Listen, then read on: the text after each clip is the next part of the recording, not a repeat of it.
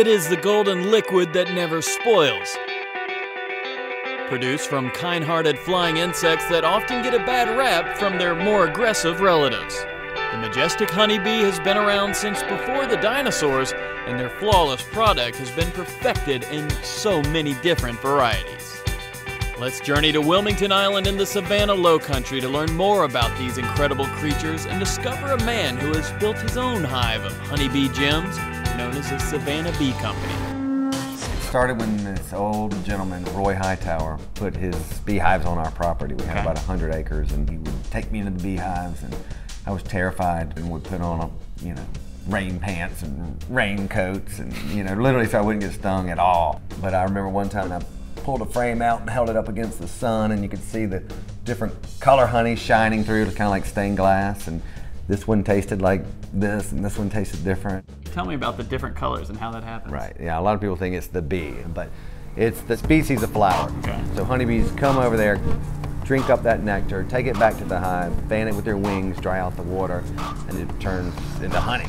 I walked in here within a minute. I learned the three types of bees: the drone, Right. the worker, and the queen. All worker bees are female, and people don't know that. And um, it's a very matriarchal society. You have a queen, you have all these females, and they basically keep the males around just because out of necessity. Tell me the role of the drone. They are fat and lazy. There's not, and they're the males. There's not very many of them. Their sole job is to mate with the queen. So they all go hang out for like five hours a day on a limb somewhere. If a virgin queen flies by, they all chase her, and the fastest ones can mate with the queen. If they do mate with her, they fall down and die, and that's their swan song. That part's not very pretty. Ted then took me outside to one of his Wilmington Island hives to get some of this Savannah gold straight from the source. And let me tell you, it doesn't get any better than this. Oh, it's yeah? soft. Oh, they get it run down. yeah. They don't mind me destroying. If someone did this to my house, I'd be really ticked off. They're okay. They're gonna just clean it all up. That is Uh, that is incredible. It's warm honey. it's Yeah, not every day yeah. it's like this really warm honey. And the palm honey is just traditionally thin honey anyway. Yeah, yeah, I love it. But isn't that neat? Yeah, fill up on honey here. Yeah. You see this hive, it's like a mini factory. There's 60,000 bees probably in there. They're coming and going, coming and going. They have to visit 2 million flowers to make one pound of honey. So on that one frame, when it's all sealed, that's about six pounds of honey. So they visited 12 million flowers to do that. And just when I was starting to feel comfortable and confident around the bees. All right, Ted, what are you doing? All right. Oh my gosh. go. Just be calm. Just don't squeeze them between your fingers. okay, okay, not happening. Not gonna happen. That's, they're fuzzy. They feel fuzzy. And they're tickly. I think it's time to get these bees off of my hand. Good job. Voila. Thank you. I wasn't planning on doing that All right, today. that's good though, isn't it? Oh, yeah, that was cool. Didn't even need the veil for that. Now, tasting the wide variety of honey and honeybee products at either of the two historic Savannah locations is an experience in itself.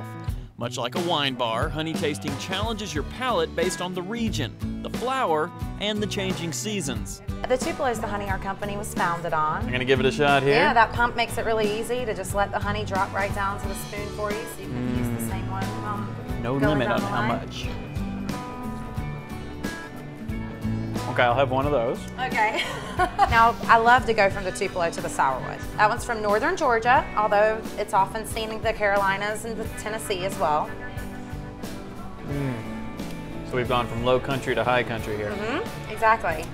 Over to a wildflower honey. Okay. That's our southwestern Georgia wildflower. It's from the Stockton, Georgia area around the Okefenokee Swamp. Swamp honey. This is a first. It's just, it's warm and earthy.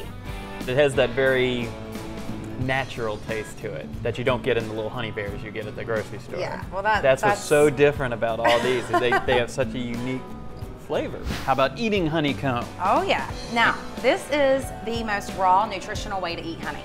Cut a nice gooey chunk, don't be shy. Cut Oh. top to bottom and get some of that honeycomb. Just like brie. 100% edible, Okay. yeah.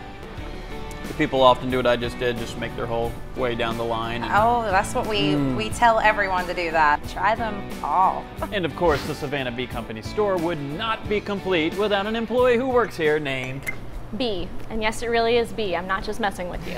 So we have the employee named B and of course a B bee skep, which is incredibly popular with both the kids and me. See ya. So today I learned that much like humans, the female honeybee makes all of the decisions and has the final say. But more importantly, I acquired a new appreciation for the art of beekeeping and the amazing honeybee.